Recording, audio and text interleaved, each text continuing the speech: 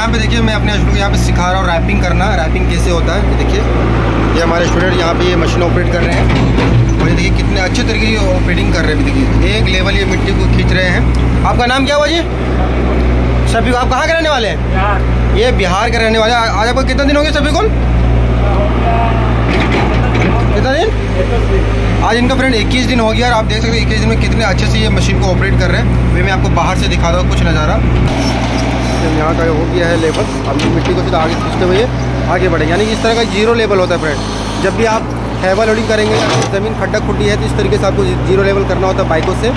अगर आप पोखलिंग से काम करेंगे तो। बाकी ये लोडर होता है हल्का फिनिशिंग के लिए। तो इस तरीके से यहाँ पे काम सिखाया जाता है। अगर आप लोग कोई भी ये एक्सावेटर मशीन सीखना चाहते हैं तो हमारे ट्रेनिंग सेंटर में आकर के सीख सकते हैं। पच्चीस हज़ार रुपये ट्रेनिंग की फ़ीस और एक महीने की ट्रेनिंग है। और कोशिश करें कि पंद्रह जनवरी से पहले आइए आप लोग, और यहाँ से फुल ऑपरेटर बन के जाइए। तो बहुत ही बड़ा डिस्काउंट है आप लोगों के लिए।